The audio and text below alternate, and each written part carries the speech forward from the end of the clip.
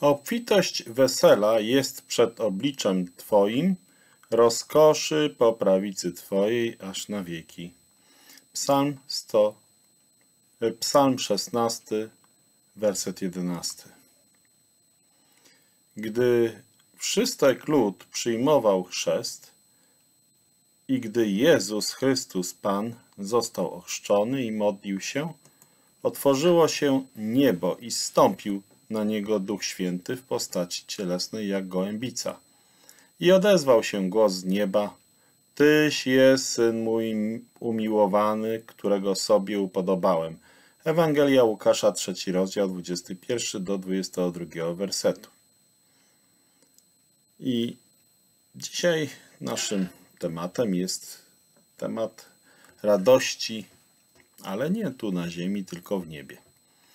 Usposobienie pełne zależności, jakie Pan Jezus Chrystus okazywał w modlitwie, wprawiało niebo w ogromną radość.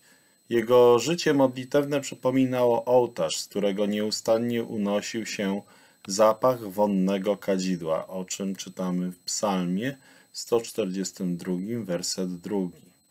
Przy powieściach Salomona w 15 rozdziale 8 wersecie jest napisane wyraźnie – że modlitwa prawego znajduje upodobanie u Boga. Jakaż zachęta płynie z tego dla każdego z nas, aby więcej uwagi i czasu poświęcać modlitwie. Jednocześnie Bóg Ojciec ma radość z tego, że Syn, jedyny na ziemi, bezgrzeszny człowiek, stając w Jordanie, zjednoczył się z pragnącymi pokuty grzesznikami. Także i dzisiaj nie jest inaczej. Bóg, Ojciec, cieszy się z tego, jeżeli nie kroczymy przez życie w poczuciu urojonej własnej prawości, lecz gdy się ukorzymy i uznamy przed Bogiem i zjednoczymy z tymi, którzy pokutując odwracają się od zła. Syn Boży, Pan Jezus Chrystus, nigdy nie czynił czegokolwiek po to, aby pozyskać cześć ze strony ludzi, o czym mówi nam Ewangelia Jana, 8 rozdział, 54 werset. Szczególnie widzimy to w nim, czytając o jego chrzcie. Oraz o wydarzeniu, gdy będąc na górze, został przemieniony na oczach swoich uczniów. W obliczu, w obu przypadkach modlił się i w obu tych wydarzeniach Bóg Ojciec wydał z niebios publiczne świadectwo o swoim Synu, wyróżniając go bardzo spośród wszystkich ludzi. Do swoich uczniów Pan Jezus Chrystus powiedział, jeśli kto chce mi służyć, niech idzie za mną. Jeśli kto mnie służy, uczci go Ojciec mój. Ewangelia Jana, 12 rozdział, 26 werset. Słowo to zwraca się do naszych serc także obecnie. Także i obecnie.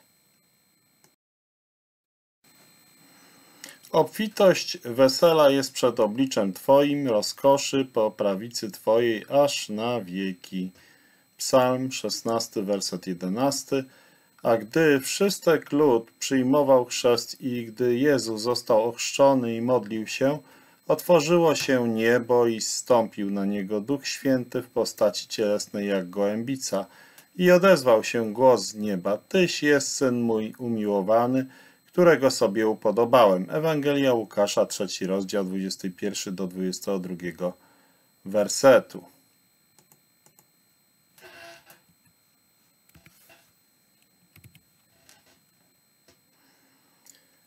I Zajmując się dalej tą radością w niebie, która występuje, możemy zauważyć, że akurat Łukasz, który wspomina o modlitwie Pana Jezusa Chrystusa podczas Jego chrztu, donosi także o tym, że Bóg Ojciec osobiście zwrócił się do Niego wprost z niebios, zamiast po prostu mówić nad Nim i o Nim, tak jak to jest opisane w Ewangelii Mateusza, Tyś jest Syn mój umiłowany, którego sobie upodobałem. Syn rozmawiał z ojcem, a ojciec z synem. Modlitwa wprowadza Boga w okoliczności życia, przez to posiadamy z nim społeczność.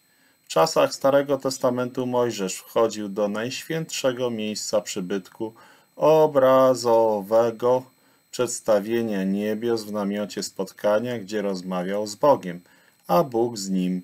O czym czytamy w czwartej Mojżeszowej, siódmy rozdział, 89, 8 i 9 werset. 59 werset. Dzisiaj przez dzieło Pana Jezusa Chrystusa każdy wierzący posiada dostęp do nieba, droga do najświętszego miejsca i przed obliczność Bożą, przed obecność Bożą jest dla nas w każdym czasie otwarta, o czym mówi nam list do Hebrajczyków, 10 rozdział, 19 werset. Nie musimy czekać aż do chwili tak zwanego pochwycenia lub do momentu naszej śmierci, aby móc wstąpić do nieba. Już teraz, każdego dnia posiadamy tę możliwość, by przez Ducha Świętego w modlitwie udać się na miejsce, na którym znajduje się tron łaski, o czym informuje nas list do Hebrajczyków, czwarty rozdział, szesnasty werset. W jakim charakterze tam się pojawiamy? Jako ci, którzy stali się Bogu miłymi w umiłowanym, bo tak mówi list do Efezjan, pierwszy rozdział, szósty werset, i na których z tego względu spoczywa całe upodobanie Boże. I teraz pytanie do Ciebie, czy jesteś tego świadom, że gdy ze szczerego serca uginasz kolana i klękasz, to w niebie wzbudzasz radość? Czy istnieje coś, co powstrzymuje Cię przed tym, aby robić użytek z tego przeogromnego przywileju, by móc wkraczać w otwarte niebo? Co może Ci w tym pomóc, aby bardziej świadomie rozkoszować się społecznością z Bogiem, a przez to wywoływać ogromną radość w niebie?